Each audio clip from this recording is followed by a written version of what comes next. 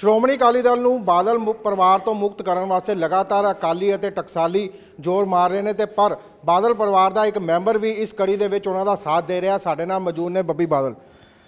ਬਾਦਲ ਸਾਹਿਬ, ਲਗਾਤਾਰ ਤੁਸੀਂ ਪਿਛਲੇ ਕੁਝ ਮਹੀਨਿਆਂ ਤੋਂ ਪਹਿਲਾਂ ਸ਼੍ਰੋ- ਸ਼੍ਰੋਮਣੀ ਅਕਾਲੀ ਦਲ ਟਕਸਾਲੀਆਂ ਦੇ ਨਾਲ ਖੜੇ ਖੜੇ ਨਜ਼ਰ ਆ ਰਹੇ ਹੋ।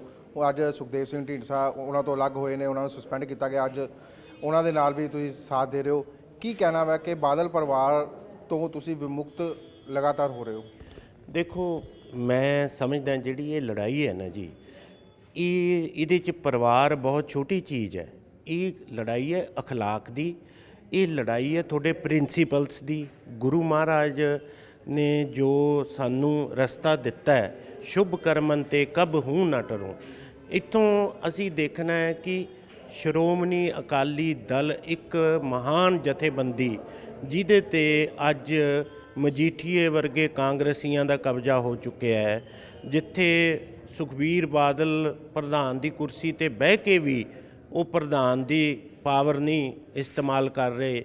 ਇੱਕ ਕੋਟਰੀ ਹੈ, ਇੱਕ ਮਤਲਬ, ਇੱਕ ਕਹਿ ਸਕਦੇ ਆ ਗੁੰਡਾ ਗੁੰਡਾ ਤੰਤਰ ਪਾਰਟੀ ਨੂੰ ਚਲਾ ਰਿਹਾ ਹੈ। ਅਸੀਂ ਚਾਹੁੰਦੇ ਹਾਂ ਕਿ ਪੰਥ ਦੀ ਚੜ੍ਹਦੀ ਕਲਾ ਹੋਵੇ ਪੁਰਾਣੀ ਟਕਸਾਲੀ ਪੰਥਕ ਰਵਾਇਤਾਂ ਕਾਮਯਾਬ ਹੋਣ, ਨਾ ਕਿ ਕਿਸੇ ਇੱਕ ਪਰਿਵਾਰ ਦਾ ਇਸ ਮਹਾਨ ਜਥੇਬੰਦੀ ਤੇ ਕਬਜ਼ਾ ਹੋਵੇ। ਕੀ ਕਾਰਨ ਕਾਰਨ ਕੀ ਲੱਗਦੇ ਆ? ਤੁਸੀਂ ਲੰਬੇ ਸਮੇਂ ਤੋਂ ਸ਼੍ਰੋਮਣੀ ਅਕਾਲੀ ਦਲ ਦੇ ਵਿੱਚ ਵੀ ਰਹੇ ਹੋ, ਬਾਦਲ ਪਰਿਵਾਰ ਦੇ ਮੈਂਬਰ ਰਹੇ ਹੋ। ਸੁਖਬੀਰ ਬਾਦਲ ਦੇ ਸੱਜੀ ਬਾਹ ਵੀ ਮੰਨਿਆ ਜਾਂਦਾ ਸੀਗਾ ਤੁਹਾਨੂੰ ਕਿਸੇ ਟਾਈਮ ਪਹਿਲਾਂ ਮਨਪ੍ਰੀਤ ਬਾਦਲ ਅਲੱਗ ਹੋਏ, ਫਿਰ ਤੁਸੀਂ ਅਲੱਗ ਹੋਏ। ਕਾਰਨ ਕੀ ਸਮਝਦੇ ਹੋ ਕਿ ਇਹ ਸਾਰਾ ਜਿਹੜਾ ਪਰਿਵਾਰ ਟੁੱਟਦਾ ਜਾ ਰਿਹਾ ਉਸ ਨੂੰ ਕਾਰਨ ਕੀ ਹੈ?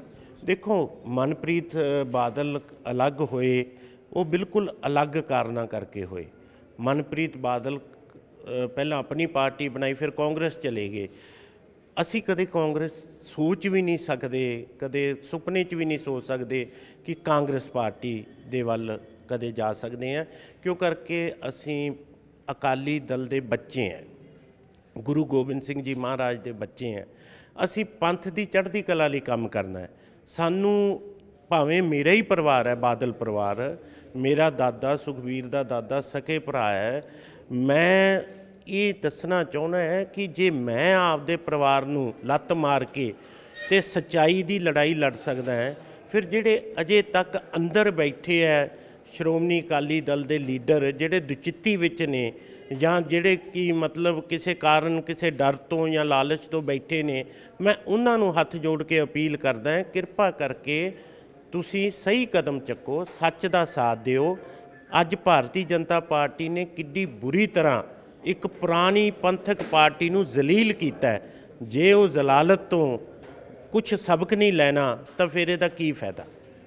ਤੁਹਾਨੂੰ ਕੀ ਲੱਗਦਾ ਕਿ ਸ਼੍ਰੋਮਣੀ ਅਕਾਲੀ ਦਲ ਵੱਲੋਂ ਜਿਹੜੇ ਬੀਜੇਪੀ ਦੇ ਨਾਲ ਦਿੱਲੀ ਦੇ ਸੰਬੰਧ ਵਿਛੇਦ ਹੋਏ ਨੇ, ਉਸ ਦਾ ਪੰਜਾਬ ਤੇ ਵੀ ਅਸਰ ਪਏਗਾ? ਬਿਲਕੁਲ ਪਏਗਾ ਜੀ। ਹੁਣ ਬੀਜੇਪੀ ਨੇ ਪਹਿਲਾਂ ਹਰਿਆਣੇ 'ਚ ਜ਼ਲੀਲ ਕੀਤਾ, ਫਿਰ ਦਿੱਲੀ 'ਚ ਕੀਤਾ। ਹੁਣ ਉਹਨਾਂ ਦੇ ਲੀਡਰ ਆਮ ਹੀ ਕਹਿਣ ਲੱਗ ਗਏ ਕਿ ਸਾਡਾ ਬੀਜੇਪੀ ਦਾ ਮੁੱਖ ਮੰਤਰੀ ਅਸੀਂ ਦੇਖਣਾ ਚਾਹੁੰਦੇ ਹਾਂ।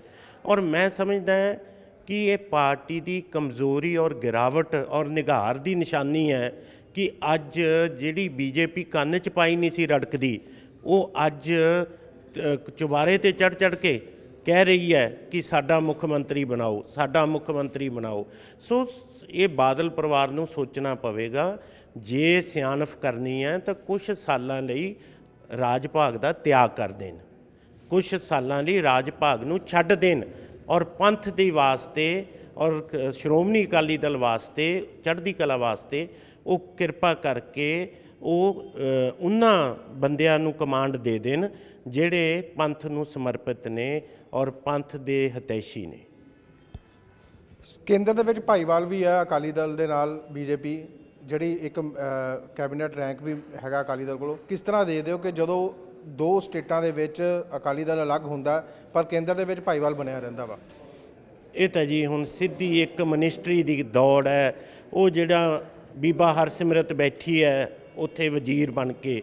ਉਹ ਕਹਿੰਦੇ, ਸਭ ਕੁਝ ਲੁੱਟਿਆ ਜਾਵੇ, ਸਾਰੀ ਬੇਇੱਜ਼ਤੀ ਹੋ ਜੇ, ਪਰ ਮੇਰੀ ਵਜ਼ੀਰੀ ਨਾ ਜਾਵੇ। ਔਰ ਬਾਦਲ ਪਰਿਵਾਰ ਇੱਕ ਵਜ਼ੀਰੀ ਨੂੰ ਬਚਾਉਣ ਵਾਸਤੇ ਸਾਰੇ ਪੰਥ ਨੂੰ ਵਾਰਨ ਤੇ ਲੱਗਿਆ ਹੋਇਆ ਸੋ ਮੈਨੂੰ ਬੜਾ ਦੁੱਖ ਦੀ ਗੱਲ ਆਉਂਦੀ ਹੈ, ਕੀ ਤਾਂ ਉਹ ਵਜ਼ੀਰੀ ਹੈ? ਕਿੱਡੀ ਕੋ ਹੋਮ ਮਿਨਿਸਟਰੀ ਹੈ, ਜਿਹੜੀ ਤੁਸੀਂ ਛੱਡ ਨਹੀਂ ਰਹੇ? ਔਰ ਬੜੇ ਦੁੱਖ ਦੀ ਗੱਲ ਹੈ ਕਿ ਅੱਜ ਜਦੋਂ ਤੁਹਾਨੂੰ ਇੱਕ ਵੀ ਟਿਕਟ ਨਹੀਂ ਦਿੱਤੀ ਦਿੱਲੀ ਦੇ ਵਿੱਚ ਔਰ ਹੋਰ ਕਿੰਨਾ ਕੁ ਜ਼ਲੀਲ ਤੁਸੀਂ ਹੋਵੋਗੇ? ਹੋਰ ਕਿੰਨਾ ਕੁ ਜ਼ਲੀਲ ਤੁਹਾਡੀ ਕਪੈਸਿਟੀ ਹੈ ਨੀਚੇ ਗਿਰਨ ਦੀ ਜਿਹੜਾ ਫਿਰ ਉਸ ਤੋਂ ਬਾਅਦ ਜਾ ਕੇ ਅਸਤੀਫਾ ਦਿਓਗੇ? ਅੱਜ ਹੀ ਅਸਤੀਫਾ ਉਹਨਾਂ ਦੇ ਮੂੰਹ ਤੇ ਮਾਰੋ ਔਰ ਆਪਣੀ ਜਿਹੜੀ ਥੋੜੀ ਬਹੁਤ ਇੱਜ਼ਤ ਹੈ ਉਹਨੂੰ ਬਹਾਲ ਕਰੋ। ਤੁਹਾਨੂੰ ਕੀ ਲੱਗਦਾ ਕਿ ਤੁਸੀਂ ਆਪਣੇ ਸੰਬੋਧਨਾਂ ਵਿੱਚ ਕਹਿੰਦੇ ਰਹੇ ਹੋ ਕਿ ਪਾਰਟੀ ਦੇ ਵਿੱਚ ਮਜੀਠੀਆ ਪਰਿਵਾਰ ਦੀ ਚਲਦੀ ਹੈ ਸੁਖਬੀਰ ਬਾਦਲ ਸਿਰਫ ਮਖੋਟਾ ਨੇ ਪ੍ਰਧਾਨ ਦੇ ਰੂਪ ਦੇ ਵਿੱਚ? ਮੈਂ ਤਾਂ ਅੱਜ ਵੀ ਕਹਿਣਾ ਜੀ। ਤੁਸੀਂ ਝਾਤ ਮਾਰ ਕੇ ਦੇਖੋ ਪਿਛਲੇ ਕੁਝ ਸਾਲਾਂ ਦੇ ਵਿੱਚ ਪਾਰਟੀ ਦੇ ਸਾਰੇ ਫੈਸਲੇ ਤੇ ਮਜੀਠੀਏ ਦੀ ਸਟੈਂਪ ਲੱਗੀ ਤੁਹਾਨੂੰ ਮਿਲੂਗੀ। ਮਜੀਠੀਏ ਦੇ ਤਾਂ ਪੀਏ ਵੀ ਹਲਕੇ ਦੇ ਇੰਚਾਰਜ ਬਣ ਗਏ। ਜਿਹੜੇ ਮਜੀਠੀਏ ਦੇ ਪੈਰੀ ਹੱਥ ਲਾਇਆ ਏ, ਉਹਨਾਂ ਨੂੰ ਮਜੀਠੀਏ ਨੇ ਚੱਕ ਕੇ ਅੱਗੇ ਲਾਤਾ ਤੇ ਜਿਹੜੇ ਕਿੰਨੇ ਦਹਾਕਿਆਂ ਤੋਂ ਅਕਾਲੀ ਦਲ ਦੀ ਸੇਵਾ ਕਰ ਰਹੇ ਸੀ ਔਰ ਜਿਹੜੇ ਪੁਰਾਣੇ ਟਕਸਾਲੀ ਰਕਾਲੀ ਸੀ ਉਹਨਾਂ ਨੂੰ ਮਜੀਠੀਏ ਨੇ ਇਲੈਕਸ਼ਨਾਂ ਦੇ ਵਿੱਚ ਹਰਾ ਹਰਾ ਕੇ ਔਰ ਅਕਾਲੀ ਦਲ ਦਾ ਨੁਕਸਾਨ ਕਰ ਕਰਕੇ ਅੱਜ ਬਿਲਕੁਲ ਕਮਜ਼ੋਰੀ ਆ ਚੁੱਕੀ ਆ ਅਕਾਲੀ ਦਲ ਵਿੱਚ ਔਰ ਸਭ ਤੋਂ ਵੱਡਾ ਗੁਨਹਗਾਰ ਮਜੀਠੀਆ ਹੈ।